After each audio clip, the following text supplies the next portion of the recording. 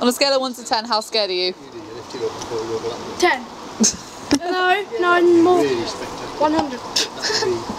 You've got to do two, don't change subjects. I'm going to grab the towel and just go.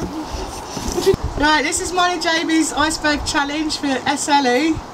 Thank you for nominating us. Jessica, my lovely niece, my friend Pat and my partner in crime at work Rosie.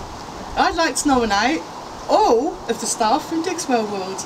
Sisters have two buckets each rather than one. Helena Mark White's Whitehead, my sister-in-law and brother-in-law. My brother Steve and my sister-in-law Sarah Marat. My crazy friend Cressida Lewis and Patricia Shells, you knew you were going to get it, and my goddaughter Maisie.